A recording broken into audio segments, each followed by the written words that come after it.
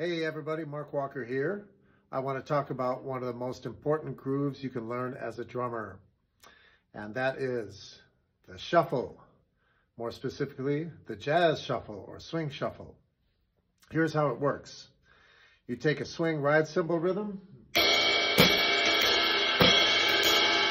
add two and four on the hat, add the bass drum on either four beats or one and three.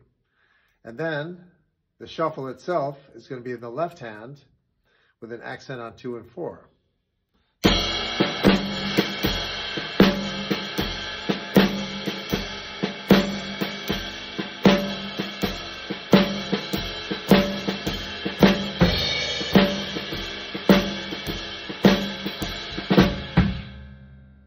So make sure that everything is hitting together, especially on two and four where everything is playing at the same time.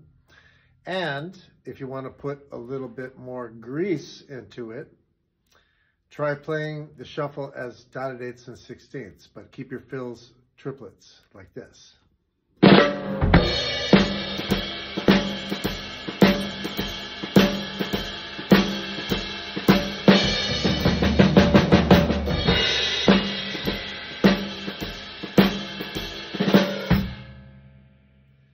And you can also play the bass drum on one and three or syncopated.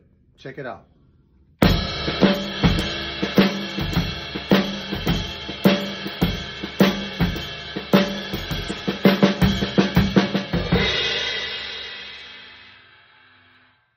All right, have fun with it, and I'll see you next time.